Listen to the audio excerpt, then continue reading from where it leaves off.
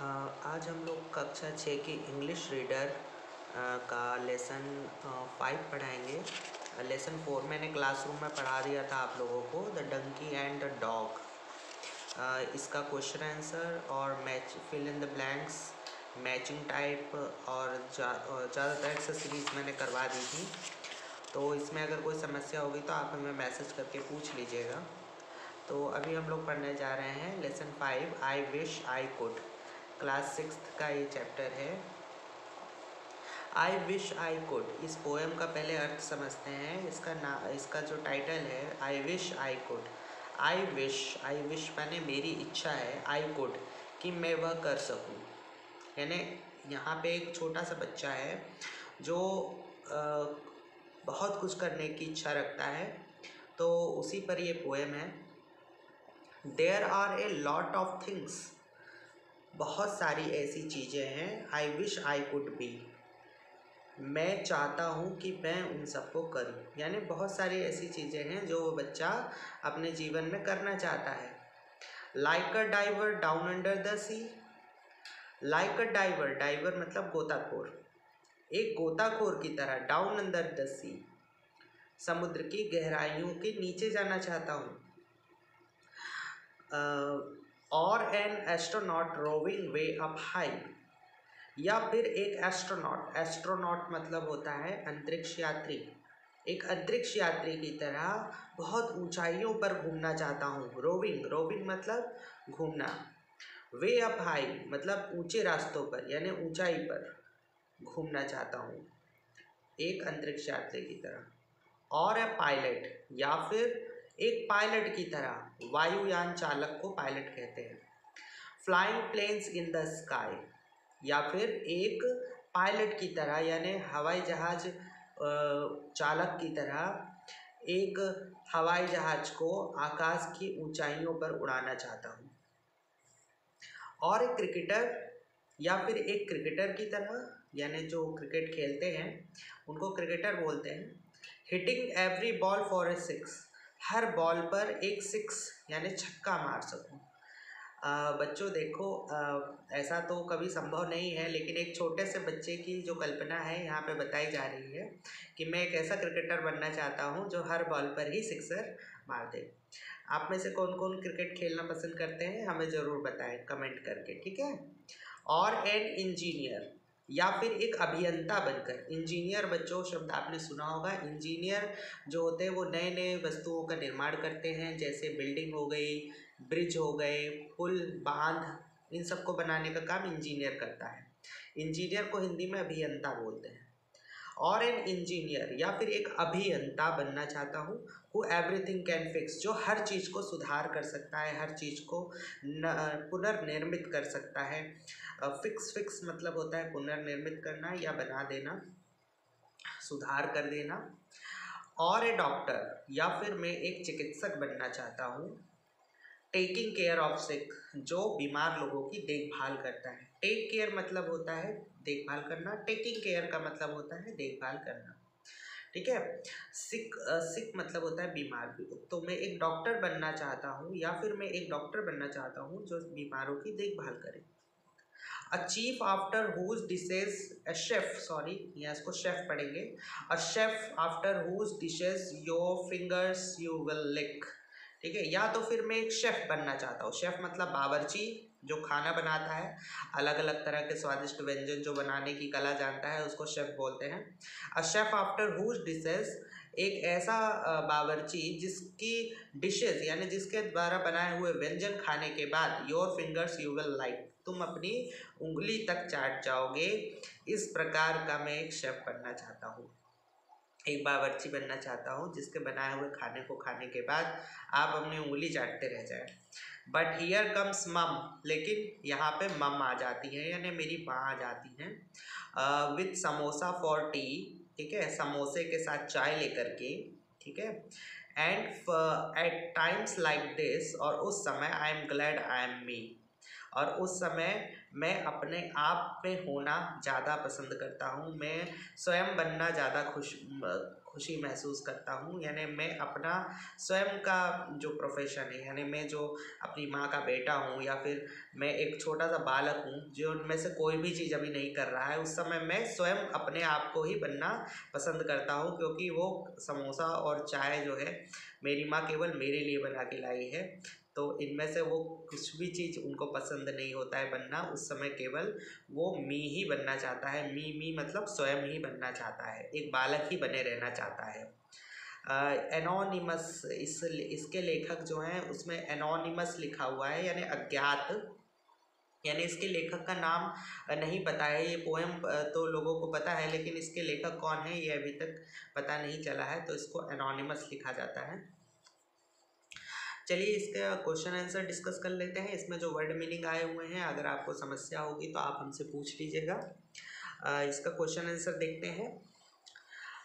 पहला क्वेश्चन है where does a diver dive एक गोताखोर कहाँ गोता लगाता है? कहाँ डुबकी लगाता है?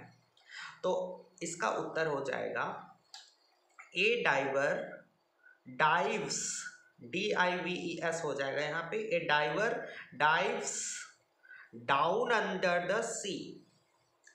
A diver dives dives down under the sea ये पहले का उत्तर हो जाएगा, यानी एक जो गोताखोर होता है, वो समुद्र की गहराइयों में गोता लगाता है। What does an engineer do एक इंजीनियर क्या करता है? तो इंजीनियर जो होता है, वो हर चीज़ को फिक्स कर देता है। तो एन इंजीनियर डस एक जो इंजीनियर है, वो क्या कर सकता है? इसका उत्तर हम लोग देंगे कि an engineer can fix everything an engineer can fix everything देखिए कैन फिक्स एवरीथिंग की स्पेलिंग आपको पोएम में मिल जाएगी। तो an engineer can fix everything ठीक है? ये इसका उत्तर हो जाएगा। Write the names of profession mention in the poem उन व्यवसायों के नाम बताइए जो पोएम में बताए गए हैं। जिस, जो इस कविता में बताए गए प्रोफेशंस के नाम लिख, बताइए। तो the names of the profession mentioned in the poem are उत्तर हो जाएगा the names of the profession यहाँ राइट नहीं लिखना है, यहाँ पे द से उत्तर शुरुआत होगी टी बड़े से रहेगा द में। The names of the professions mention in the poems are अब आर लिखने के बाद आप एक छोटा सा डैश लगाएँगे, जैसे घटाने का चिन्ह होता है, वैसे डैश लगाएँगे, फिर उसमें एक एक प्रोफेशन को कॉमा कर करके लिख देंगे। जैसे पहला लिखेंगे diver astronaut pilot cricketer engineer doctor chef ठीक है? और शेफ से पहले एंड लगा देंगे। Doctor and chef. लास्ट में आप डॉक्टर एंड शेफ करके फुल स्टॉप लगा देंगे। आपका आंसर पूरा हो जाएगा। Which profession according to you is the best कौन सा प्रोफेशन आपके नज़र में सबसे अच्छा है? तो इसमें आपको जो भी प्रोफेशन सबसे बेस्ट लगता है, वो आप लिख दीजिएगा। अगर हमारी बात, अगर आप पूछेंगे, अगर हमसे आप पूछेंगे तो each profession are best in each field ठीक है? Each profession is is the best in its field her profession अपनी फ़ील्ड का, अपनी क्षेत्र का सबसे अच्छा प्रोफेशन होता है। ठीक है? No nobody no profession is better than other ठीक है? कोई भी प्रोफेशन किसी से अच्छा नहीं होता है। सब अपनी अपनी जगह पे अच्छे हैं। फ़िलहाल अगर आपको इनमें से अगर किसी चीज़ का उत्तर पूछा जाएगा कि इनमें से आपको कौन सा प्रोफेशन पसंद है तो आप इनमें से कोई भी लिख सकते हैं। जैसे अगर आपको लिखना है पायलट पायलट का प्रोफेशन बहुत अच्छा है।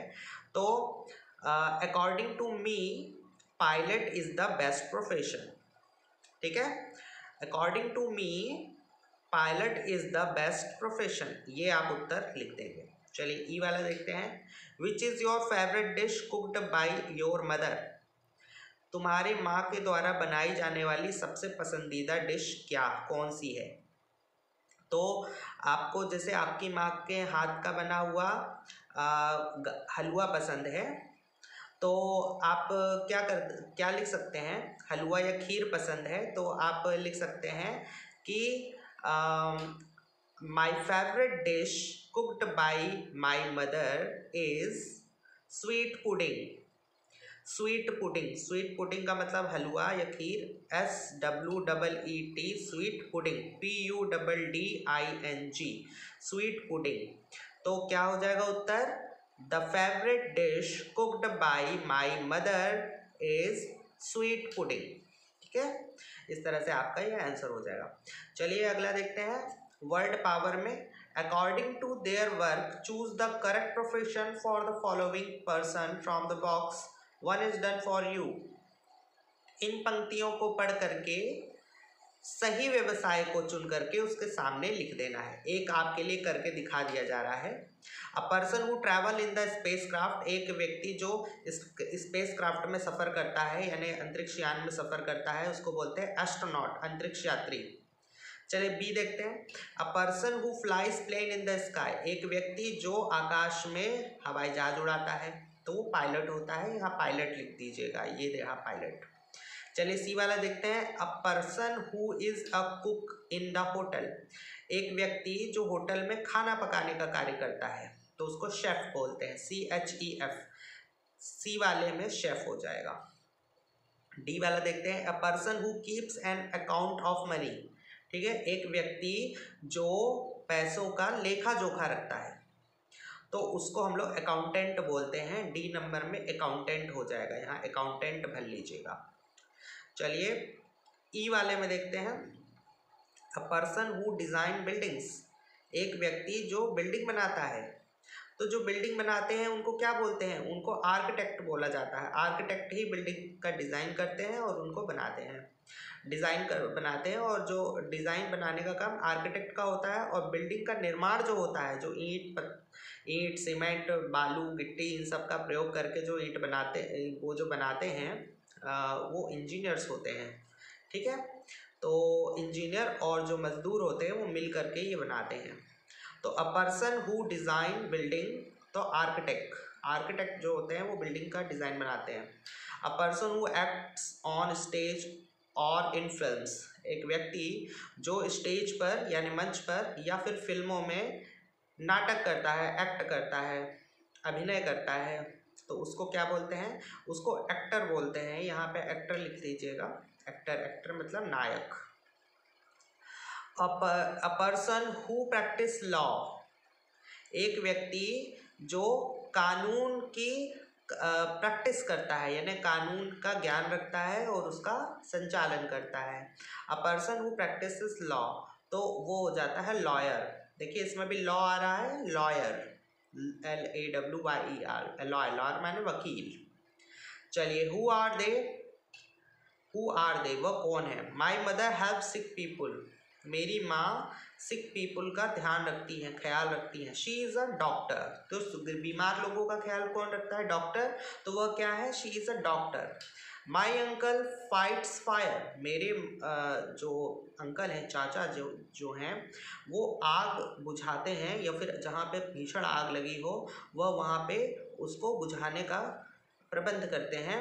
तो वो क्या है? He is a fire fighter fire fighter F I R E F I G H T E R F I R E F I G H T E R fire fighter fire fighter मैंने अग्निशमन दल। My father serves food in a hotel मेरे पिताजी hotel में food serve करते हैं। सर्व मतलब परोसते हैं। तो ये वेटर का काम होता है फ़ूड बनाते नहीं हैं वो, अगर फ़ूड बनाते तो शेफ़ हो जाते। लेकिन अगर वो फ़ूड सर्व कर रहे हैं तो वो वेटर हो जाएँगे। He is a waiter W A I T E R waiter ठीक है? W A I T E R waiter my aunt teaches math मेरी चाची मैथ्स पढ़ाती हैं शी इज़ अ टीचर यहाँ पे टीचर हो जाएगा। कोई भी अगर कोई पढ़ा रहा है किसी भी चीज़ को तो वो किसी भी विषय को पढ़ाने वाला हो व्यक्ति, वो टीचर ही होता है। चलिए एक्टिविटी क्या करनी है आपको? Discuss with your friends what do you want to become you when you grow up and why ठीक है? अपने दोस्तों से, अपने मित्रों से, अपने सहेलियों से आप लोग को डिस्कस करना है, बात बतानी है उनको कि आप क्या बनना चाहते हो और क्यों बनना चाहते हो। आपके दोस्तों का एक मित्र मंडली होगी या आप लोग जिनके साथ खेलते हैं, कूदते हैं, बैठना उठना पसंद करते हैं, ठीक है? तो उनके बीच में आपको एक चीज़ डिस्कस करनी है, ठीक है? कि आप बड़े होकर क्या बनना चाहते हैं और क्यों बनना चाहते हैं? तो आपका जो लेसन फाइव है वो कंप्लीट हो चुका है। कक्षा छः के सभी छात्र इस पोएम को याद करेंगे अच्छे से। बहुत अच्छी पोएम है। और उसका प्रश्नोत्तर फेयर कॉपी में लिखेंगे और ये जो एक्सरसाइज है, इसको भी अपनी कॉपी में फेयर कॉपी में लिख लेंगे वर्ड मीनिंग भी लिखनी है। अगर कोई इसके अतिरिक्त कोई कठिन वर्ड आपको इसमें मिलता है तो आप इस वीडियो को बैक करके देख सकते हैं या फिर आप हमको कमेंट में पूछ सकते हैं। तो इस तरह से ये आपका पूरा चैप्टर कंप्लीट हो गया है।